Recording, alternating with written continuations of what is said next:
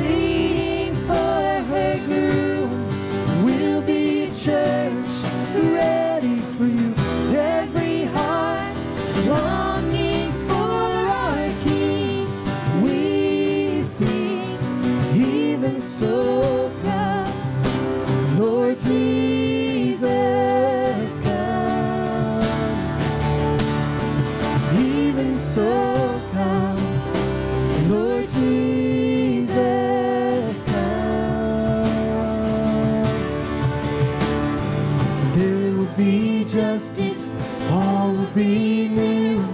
Your name forever, faithful and true. Jesus is good.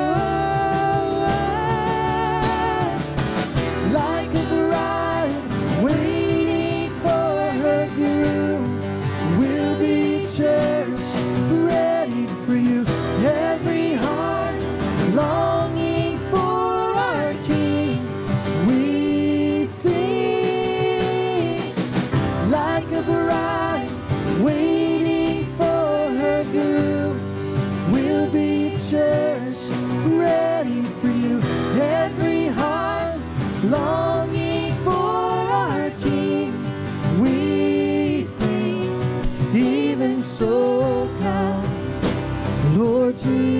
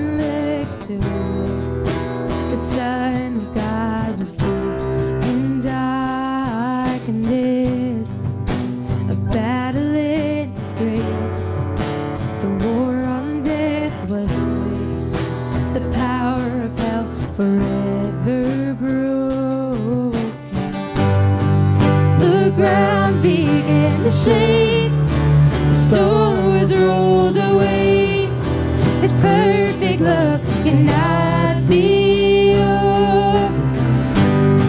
Now death, where is your sting?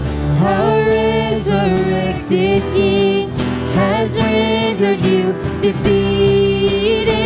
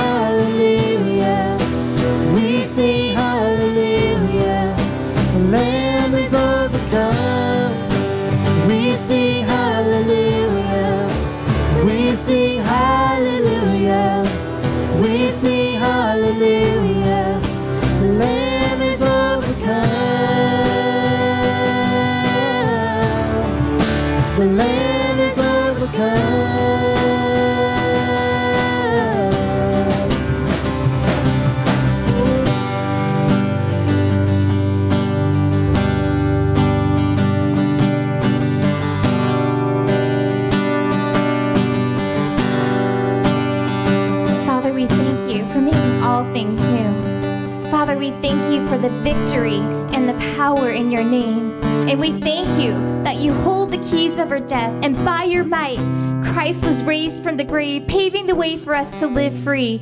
Father, we praise you for your strength and how you lavish us in your perfect love. And we praise you for you are the Redeemer, the Savior. You're our Father, you're our friend. We praise you that for you alone are our deliverer, for you are worthy, our everlasting Father, and our awesome God. Father, we confess that we need you. Renew our hearts, our minds, and our lives for the days ahead. Shine your light in us, through us, and over us. With you by our side, help us to bring peace, hope, and truth to love to all those who come into our path for your kingdom purposes. Father God, we exalt you. We thank you, Lord, for the gift of eternal life, God. Thank you for dying on the cross for our sins, God, so we could be set free, God, so we could be washed clean. God, we just love you so much. We thank you for this time. We thank you for this time to come into your presence, God, and worship you. We love you, Jesus, in your perfect name. Amen.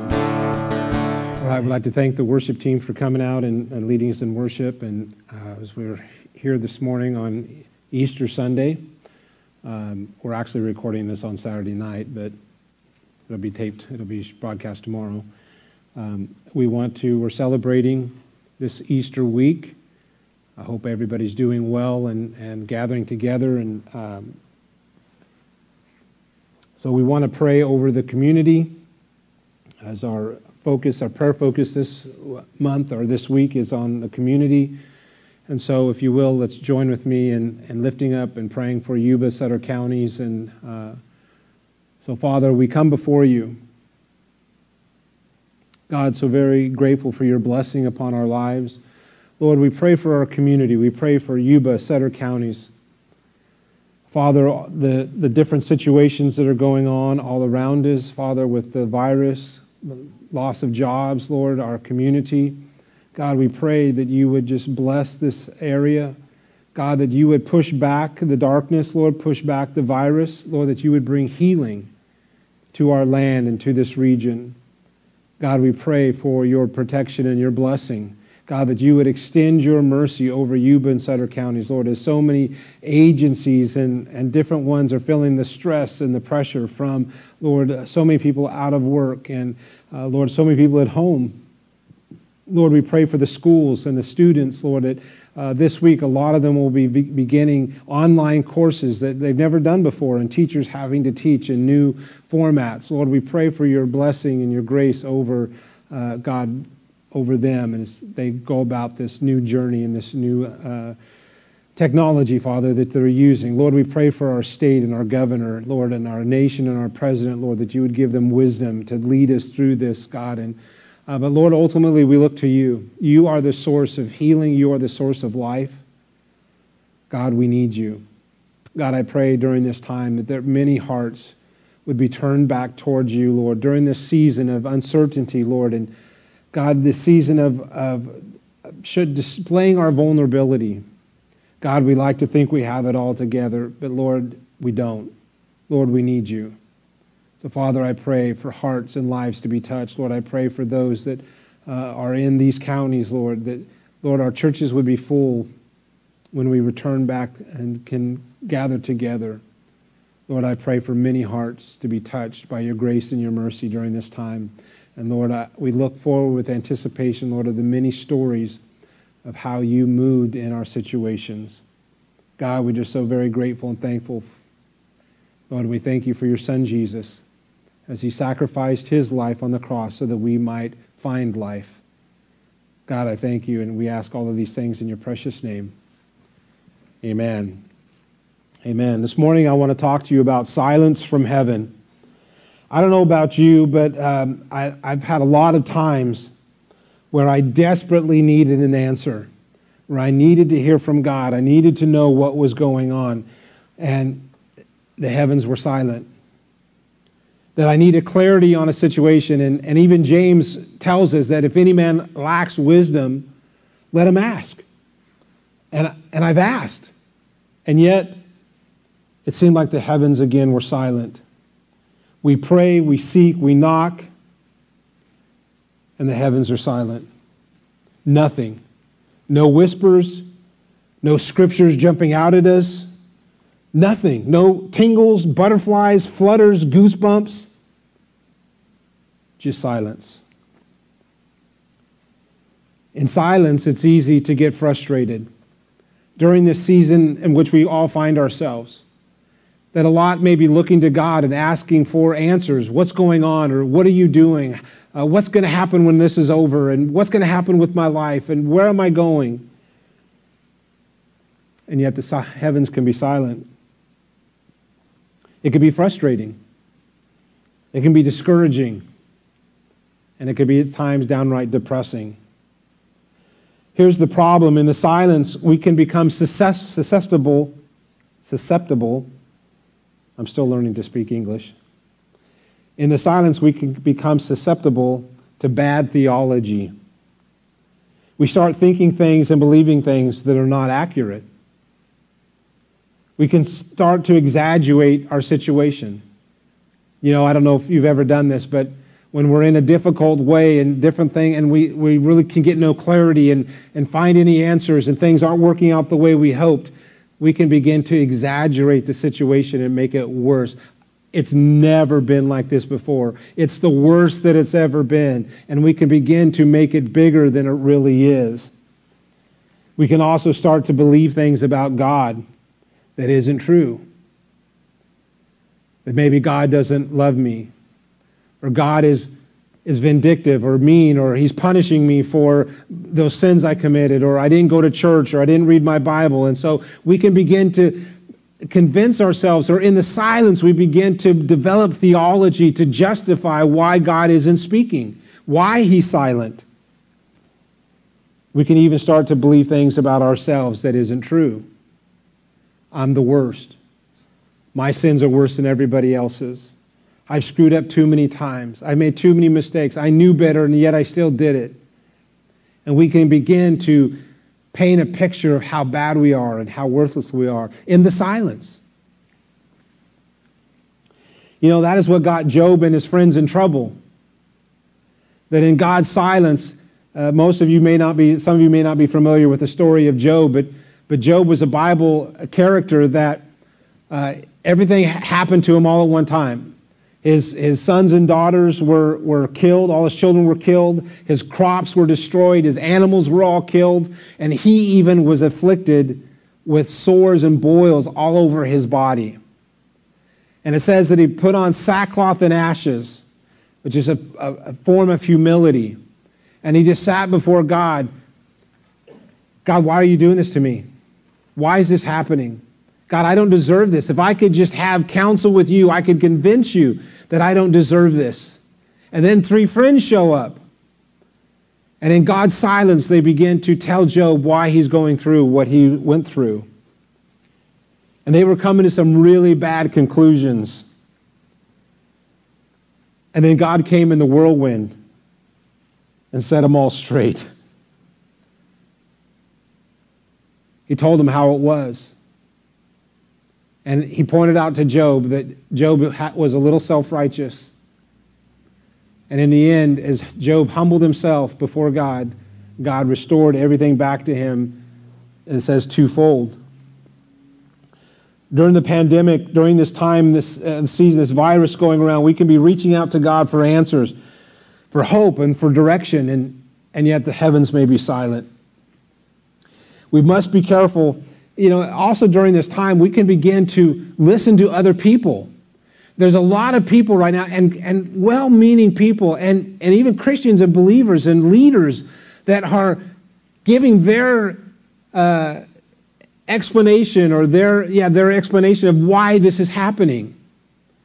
And if we're not careful, we can begin to, to listen to what they're saying instead of, instead of really going to God and, and waiting until He speaks.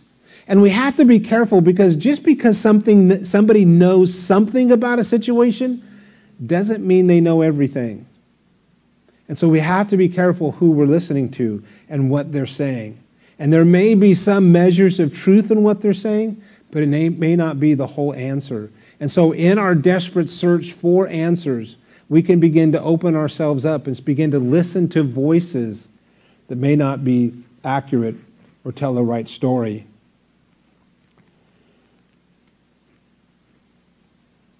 For some, it may be like God is sitting right next to you. You're just filled with joy and peace, and man, you just, you're just hearing God so clearly, and He's just speaking. If that's you, I don't raise your hand. I don't want to know. Because for the rest of us, it may be like God has taken the, the stay at home order, the stay in order, and is isolating himself and the heavens are silent. This week we celebrate Easter. Jesus came. Most of the time we celebrate December 25th. Uh, well, we do celebrate December 25th as his birthday. When Jesus came to earth, came as a, a child. And the miracle of the incarnation is, is that Jesus pre existed, that he existed before the birth in the manger and he comes as a child. He leaves heaven and subjects himself to humanity. We, we can't even fathom what that's all about. But God wanted to give mankind a picture of who he was. And so Jesus willingly submitted and he came to earth as a baby and he grew up. And then at 30 years old, he launched out into ministry. What was the whole purpose? He, he wanted to demonstrate to mankind, demonstrate to people who God was. That God was caring and He was kind and He was compassionate. And everywhere Jesus went, wherever there was a need, Jesus would heal and He would, he would teach about the kingdom of God, what the heart of God was really like. Jesus had said, If you've seen me, you've seen the Father. And I and the Father are one. Jesus walked in total relationship and total dependence upon God and the Holy Spirit. That he says, I only do what I see my Father doing. Now, Jesus knew what his ultimate mission was. Jesus knew that there was going to come a day when he was going to go into Jerusalem and the religious leaders were going to stir up the mob and that Jesus would die on a cross. He knew it was coming. He knew the purpose for which he, he came. In fact, Philippians says, for the joy that was set before him, he endured the cross. He knew what was coming, but he knew what it was all about. That as he hung on the cross and all of the sins of mankind, all from the past and all from the future, were all placed on Jesus as he hung on the cross. That Jesus was the ultimate sacrifice for all of the wrongs of humanity. Jesus knew that he was going there to take the punishment, our punishment, my punishment for my sins, for the things that I've done wrong. It became the glorious divine exchange in that Jesus took the penalty and the punishment for my sin. And that when I come and I accept Jesus Christ as my Savior, I get His righteousness. I get right standing before God. Thereby, I can come before Him. And as Jesus hung on the cross, and th- through the torture and the pain, he was only uttered it, he was only able to utter a few words.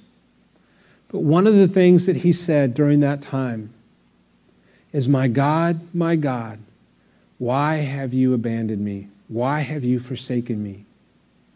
In that moment, Jesus knew what it was like to have silence from heaven. As he hung there on the cross, in agony and pain, taking my sins and your sins upon him, that God had to turn away because of the wretchedness, wretchedness of the sin. Now, just because God turned away, and this is an important point to remember, and even though Jesus in that moment felt like God had abandoned him, the promises are still true that says, I will never leave you nor forsake you. And in that moment, just because it felt like God was gone, didn't mean that he was. That God was there the whole time. And in our season, in fact, the Bible tells us that we don't have a high priest that doesn't know what we go through. Jesus knows and has experienced everything that we go through. He did it without sinning, but he still felt all the emotions and all the feeling. I mean, Jesus didn't have, you know, a superhuman body that he didn't feel the pain of the whipping, of the nails going into his physical flesh. He experienced it all. He knows what unbearable pain is. He knows what it's like to suffer. He knows what it's like to suffer as an innocent man. Jesus was not deserving of the death and the punishment that he took, and yet he took it for you and me. And just because in that moment it seemed like God wasn't there, God was still at work. God was still working his plan, and that's an important point to remember when we're going through seasons of silence. When it seems like the heavens are shut up, it doesn't mean that God isn't there.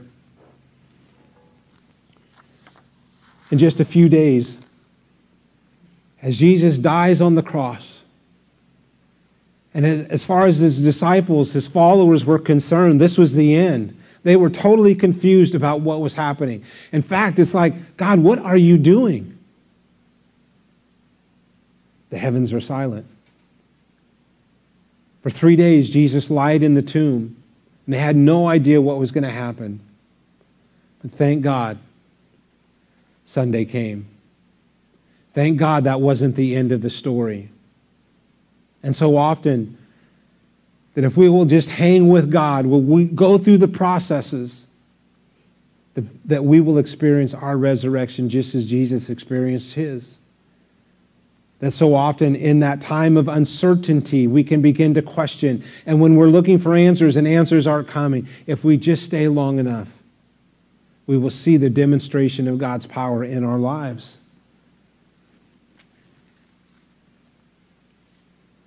Can you imagine what it must have been like for Jesus?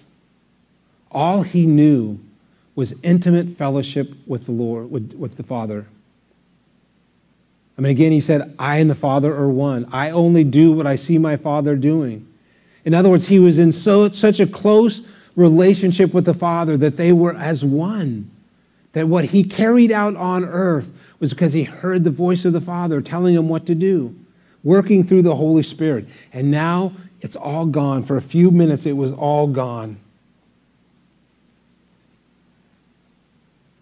Even in the silence, God is working. For us, and maybe even in this time, silence forces us to make a choice to, to go deeper in our knowledge of who God is. When we're experiencing silence from heaven, when we can't seem to find our way or get the answer that we, we're looking for, it, we, we come to a, a crossroads. We come to a place where we have to make a choice. Do we abandon the process? Do we go, this is too hard, God isn't here, if God doesn't care, then I'm out of here? Or we start making bad choices and bad decisions? Do we come like Job and his friends, trying to figure out, trying to make up, and trying to come up with theology as to why God is abandoning us? Or does it force us to go deeper? Does it force us to confront what we believe about God? There's a popular song right now called Waymaker. Here are some of the lyrics in this song Waymaker, miracle worker, promise keeper, light in the darkness. My God, that is who you are. Waymaker. God makes a way, even in the desert where there doesn't seem to be a road, there doesn't seem to be a pathway. Maybe God is making a way, making a way for you and me, and, and we haven't quite seen it develop yet, but we've got to hang in there. That He's a miracle worker, that God still works miracles, and it, you may need a miracle. That your situation may be impossible, that there may be, seem no way out. Do we believe that God is still the miracle worker, a promise keeper, that He keeps all of His promises that He made to us? That in, our, in the silence, in the darkness, when it seems like everything's crashing in around us, is He your light in the darkness? God, that is who you Do we believe that? Do we know that? There's a couple other lines in that song says, even when I don't see it, you're working. Even when I don't feel it, you're working. See, we need to go past just believing it into really knowing it. Now, believing is good. It's good to believe. But there is something a little bit higher and a little bit deeper, and that's knowing it. Listen to Paul as he wrote to Timothy in 2 Timothy chapter 1. He says, Therefore, do not be ashamed of the testimony of our Lord, nor of me, his prisoner, but share with me in the sufferings for the gospel according to the power of God who has saved us and called us with a holy calling, not according to our works, but according to his own purpose and grace, which was given to us in Christ Jesus before time began, but has now been revealed by the appearing of our Lord Jesus Christ, who, was who has abolished death and brought life and immortality to light through the gospel to which I was appointed a preacher and an apostle and a teacher of the Gentiles. For this reason, I also suffer these things. Now, listen to what, what is Paul telling Timothy? And he's giving him instructions to give to the church. But he's telling Timothy not to be ashamed of the testimony of the Lord. Why would they be ashamed of the testimony of the Lord? What is the testimony of the Lord? It's the gospel of Jesus Christ. The testimony of the Lord is, is that he came, that he died, that he was buried, and three days later he rose again. That is the testimony. And everywhere they went, they went around sharing that story, telling of who Jesus was, telling what he accomplished. That God so loved the world that he gave his only begotten Son, that Jesus came to demonstrate that love for us And that through the death, burial, and resurrection, we have been reconciled back to the Father, whereby we can come boldly back to Him. We can come confidently to God, not worrying about our sin, not worrying about the things we've done. That we can come boldly. He says, Don't be ashamed of the testimony of God. Even though us sharing the testimony brings about persecution, brings about hardship. Don't be ashamed. Don't hold back. Don't withdraw from sharing the testimony of Jesus because God has ordained this. God has set this in motion by his power that as we share the testimony that his power is with us even in the in the beatings, even in the persecution, even in the hard times. And he says, I've been appointed a preacher and an apostle and a teacher to the Gentiles. And believe me, Timothy, being an appointed according to God's plan and purpose for my life, I've been appointed to be a teacher and an apostle to the Gentiles, which gets me into a lot of trouble. It creates a big problem for me. But don't be ashamed of it. For this reason, I suffer these things. Nevertheless, I am not ashamed. Now, listen to what Paul said. For I know whom I have believed and am persuaded that he is able to keep what I have committed to him until that day. Now listen to what he says. He didn't, he didn't say, For I believe in whom I believed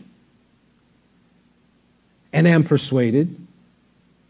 But he said, For I know in whom I believe. Now, what is the difference? And there's a very subtle difference.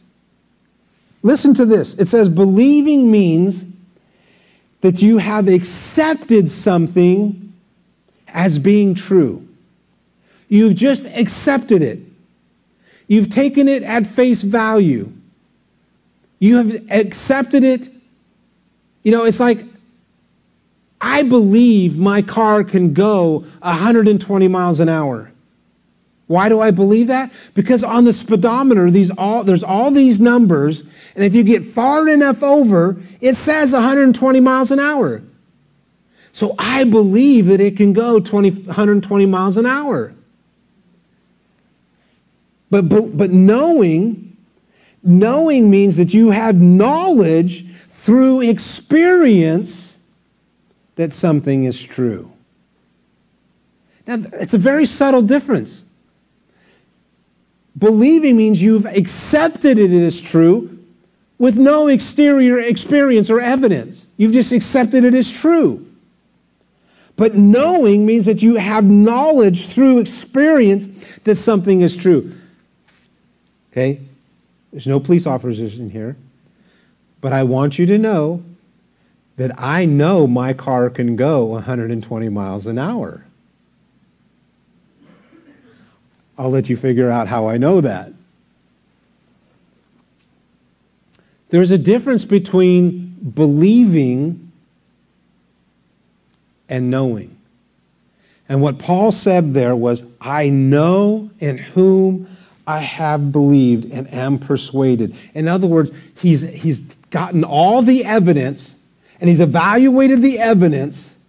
It's like being in the court of law and all of the evidence is, is presented to you. Is this person guilty or is, it, or is he innocent? And after viewing the evidence, he had been persuaded that it was all true and correct. Now, think about Paul's experience. Paul was persecuting the church. He was going after believers that were turning and accepting Jesus Christ as their Savior. And he was putting them to death.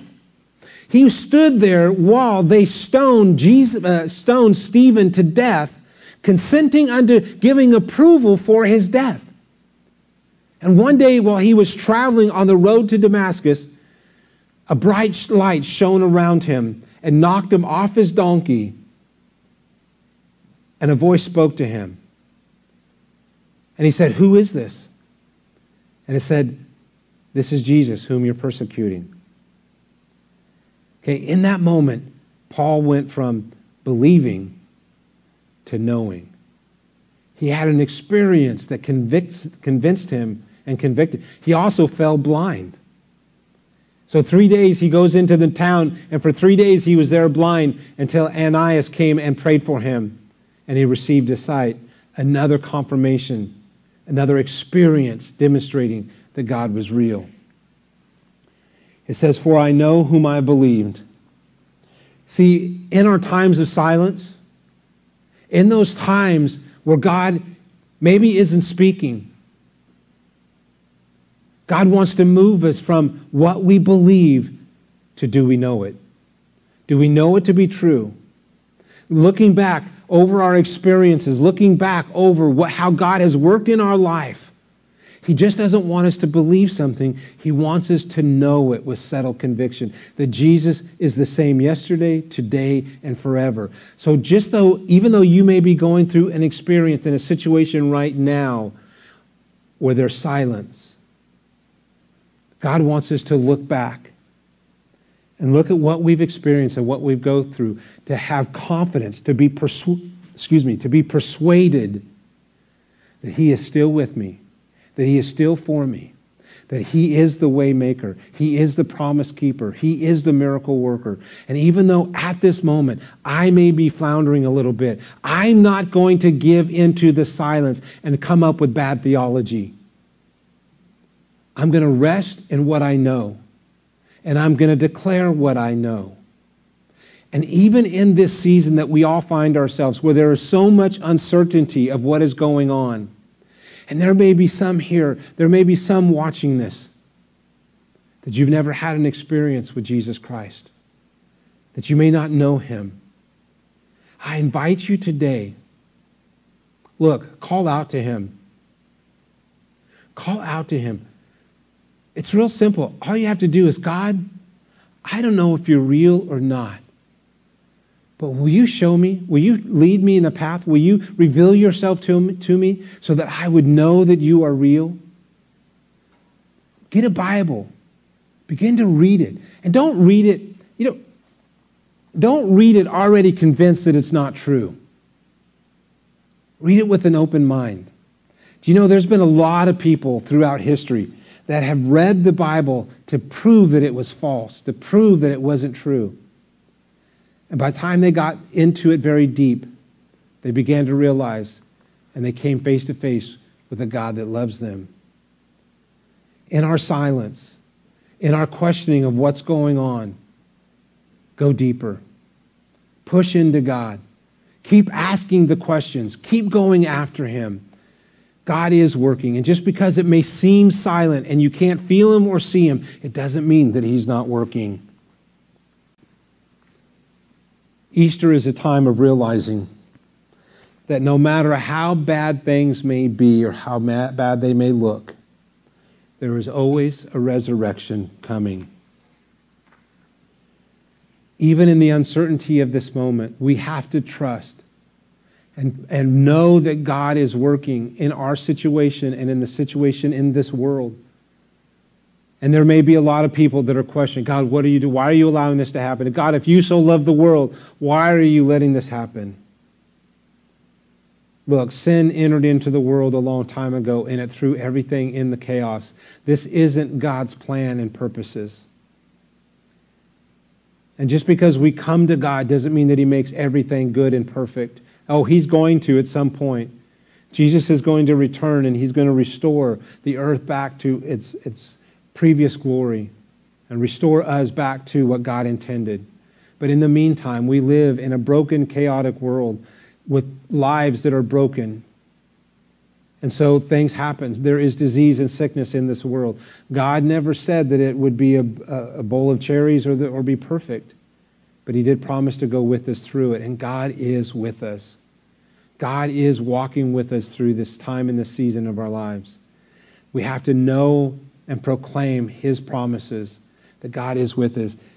And if Easter teaches us anything, it's that if we hold on long enough, there's a miracle coming.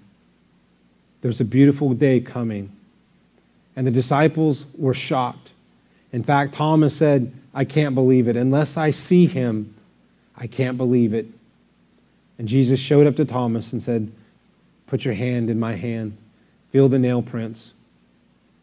And Thomas declared, My Lord and my God, that Jesus is real, that there is a miracle coming, and that he is true to his promises. So if we find ourselves in a season of silence, just keep going. As we close out our time this morning, I'm going to invite Cameron and Ashley to come and, and sing the blessing. This is a pronouncing a blessing. It's, it's found in, new, uh, in uh, Numbers. I bless you, Lord, bless you and keep you and make his face shine upon you. They're going to sing this song that's uh, come out recently, The Blessing. God bless you.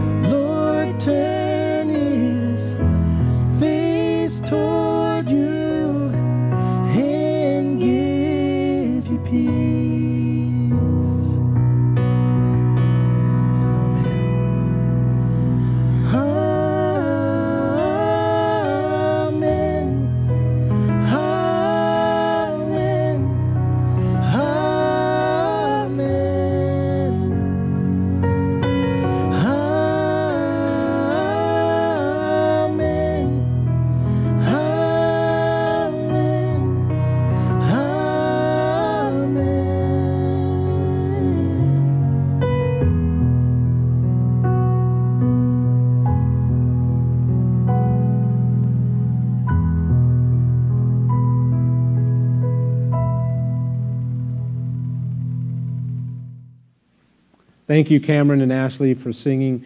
I, we just pronounce his blessing. I hope you feel his presence, that God is with you through everything. And so let's close in prayer. Father, as we come, we thank you for your grace and mercy on our lives. Lord, I pray for all those who are watching and, Father, those that aren't watching. God, that your blessing would be upon us. God, that you are for us, not against us. And that, God, that you, your favor would be upon us in our coming and our going. God, we just look to you during this time in the season, and we, God, just give you glory and honor and praise. Lord, I thank you for the grace and the love of Jesus Christ and the mercy that is extended to us as we accept the atoning sacrifice for our sins. Lord, and we're so very grateful that he rose again on the third day, that we too will be victorious. Father, in fact, your word says that if that same spirit that raised Christ from the dead dwell in us, it will quicken, it will make alive our, these mortal bodies. Father, we pray for your healing and your protection. In Jesus' name we pray. Amen. God bless you. Happy Easter. Enjoy your family.